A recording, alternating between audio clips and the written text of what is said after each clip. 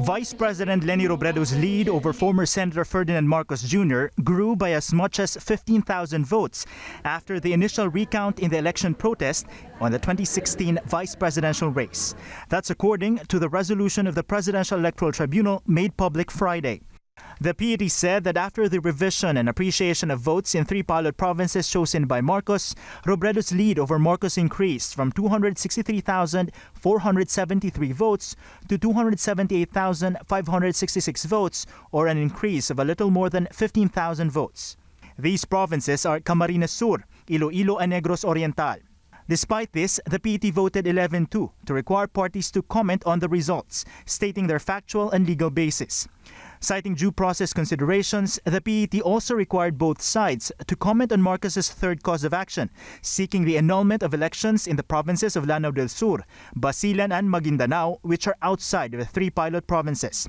But the justice in charge of the election protest, Justice Alfredo Benjamin Caguioa, does not see the wisdom of requiring parties to comment. He insists the election protest should be dismissed following Rule 65 of the 2010 PET rules. Under Rule 65, the protest may be dismissed without further consideration of the other provinces if the protestant will most probably fail to make out his case. Caguioa says it is a disservice to the PET rules to refuse to dismiss the protest despite clear and unmistakable lack of basis.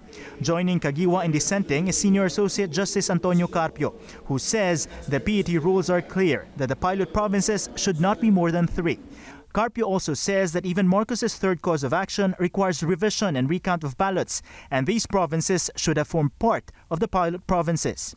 In its resolution, the tribunal acknowledges that the controversy has spawned very serious but unfounded and careless speculations.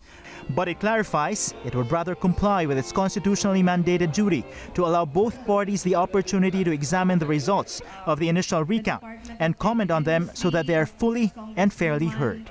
Mike Navallo, ABS-CBN News.